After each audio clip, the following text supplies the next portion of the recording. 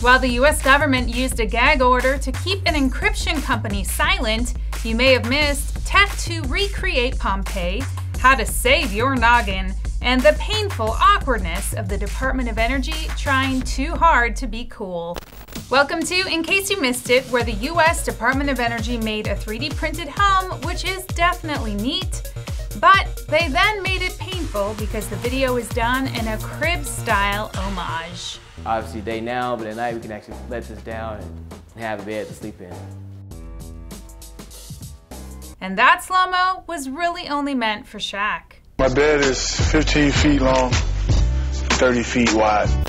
All right, this is gonna be weird. Stay with me. I have a beautiful friend who hates wearing bike helmets probably because it crushes her beautiful locks. Just look at her. She's a freaking angel. So because of her, I've known that some Swedes invented an inflatable bike helmet that essentially looks like a scarf until whammo, it becomes a head airbag when the sensors can tell an impact might happen. So far, they're only sold in Europe, but Stanford just studied them, and guess what?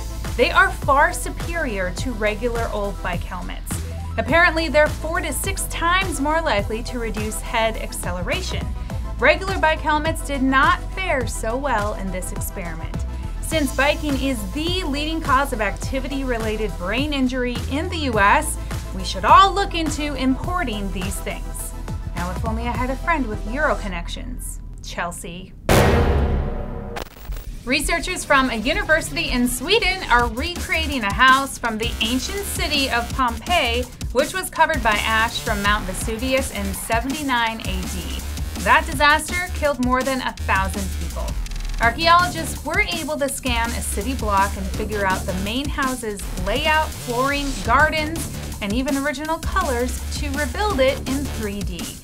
And now that we're clear that even ancient people in Pompeii had nicer homes than I do. Yeah, this is the living room right here.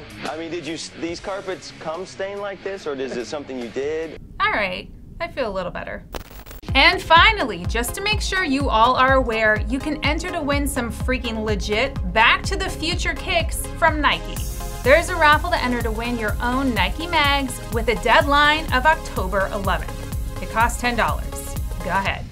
They're only making 89 pairs. Do the right thing.